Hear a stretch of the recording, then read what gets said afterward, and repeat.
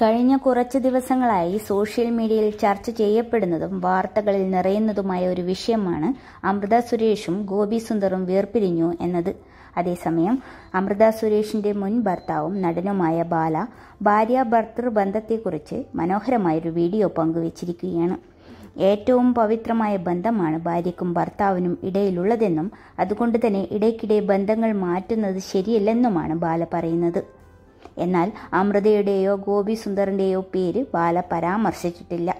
ഇളയരാജ സംഗീതം നൽകിയ രാസാത്തി ഉന്നെ കാണാതെ നെഞ്ച് എന്ന ഗാനം ഭാര്യ എലിസബത്തിനൊപ്പം ആലപിച്ചുകൊണ്ടാണ് ബാലയുടെ വീഡിയോ ആരംഭിക്കുന്നത്. എലിസബത്തിന്റെ ആവശ്യപ്രകാരമാണ് ബാല പാട്ട് ഭാര്യയ്ക്കൊപ്പം പാടുന്നത്.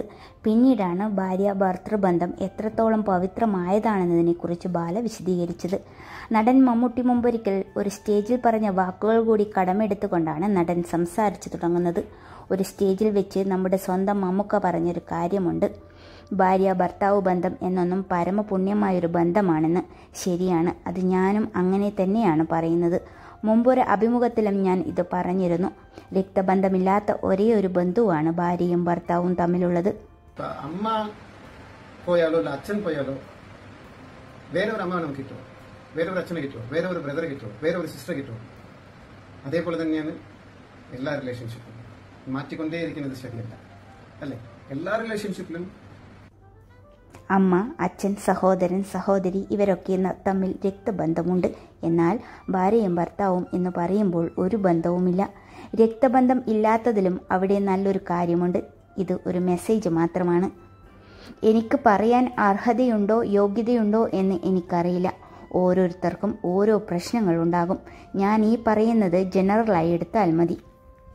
ജീവിതത്തിൽ നമ്മുടെ അച്ഛൻ പോയാലും അമ്മ പോയാലും വേറെ ഒരാളെ ആ സ്ഥാനത്ത് നമുക്ക് കിട്ടുമോ? വേറെ ഒരു സഹോദരനെയോ സഹോദരിയോ ആ സ്ഥാനത്ത് നമുക്ക് കിട്ടുമോ? അതേപോലെ തന്നെയാണ് എല്ലാ ബന്ധങ്ങളും. ബന്ധങ്ങൾ ഇങ്ങനെ മാറ്റിക്കൊണ്ടേയിരിക്കുന്നത് ശരിയല്ല. എല്ലാ ബന്ധങ്ങളിലും ബുദ്ധിമുട്ടുകൾ ഉണ്ടാകും. ഇല്ലെന്ന് നമ്മൾക്ക് പറയാനാകില്ല. അങ്ങനെ ആളുകൾ ബന്ധങ്ങൾ മാറ്റിയാലും പുറത്തു നിന്നും കാണുന്ന ആളുകൾക്ക് അഭിപ്രായം പറയാൻ അവകാശമില്ല.